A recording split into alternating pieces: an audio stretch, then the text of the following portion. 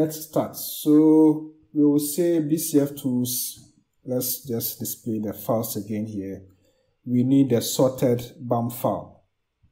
So we will say BCF tools. We say mpileup dash O. That is B. We need the output to be in the BCF format. And then we also indicate dash O for the output file. So let's say raw.bcf. And then we also need to indicate the ref. Okay, that's the reference genome. So dash is uh, dash F. And then we indicate ref dash uh, ref slash AGY. We need the four parts. So that is what we are going to use here. So we need that information. So we need the dash F for that. And then we also need threads.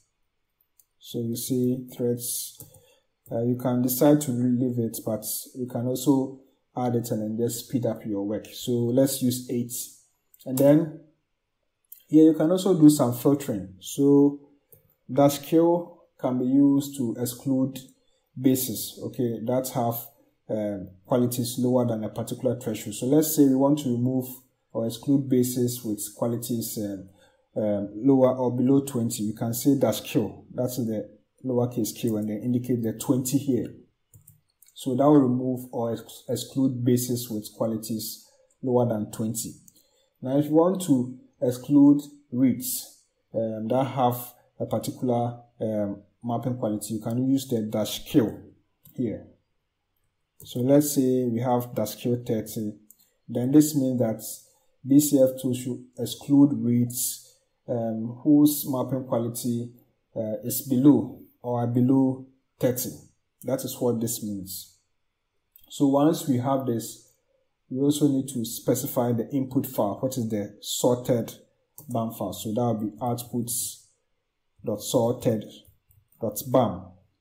So that is what we need here. So once we have this, we can run and get a pileup information. Okay, so pileup has been done for us. So we have just one sample. That is why we have this here. Okay, so um, if you have multiple samples, you can just check the documentation and look at how that can also be done. Okay, so now we have the pileup done for us. So do an ls and you will see the file there, which is the raw.bcf. So this is what we will use to call the variants. So we still use BCF tools to call the variants. And so we will say BCF tools and then we say call and then we indicate the ploidy option. So the ploidy option is used to um, tell BCF tools whether we are dealing with um, haploid organisms or diploid. So it's important we specify that. So because we are dealing with a bacterial genome, we are going to use um, a ploidy of 1 because this haploid. So we have 1 here. And then we also indicate dash M. So dash M here allows for the discovery of multi-allelic and then rare variants. So that's why we have this here. We also have dash vin to output just the variant sites. That is what we need. And then we also have dash O for the output file. So let's just say variants.raw.vcf. Okay, so we will output it in the VCF format. And then we indicate the input file, which is the raw.bcf. So we have that also here. And so that's what we need. Again, if you want to get more information about the BCF tools call command, you can just go to that page.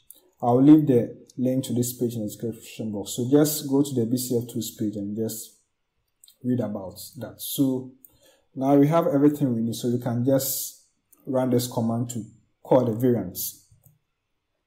Okay, so variant calling is being done now it has been done for us quickly. So do an ls and then you see the file here, which is this one here, variants.raw.vcf.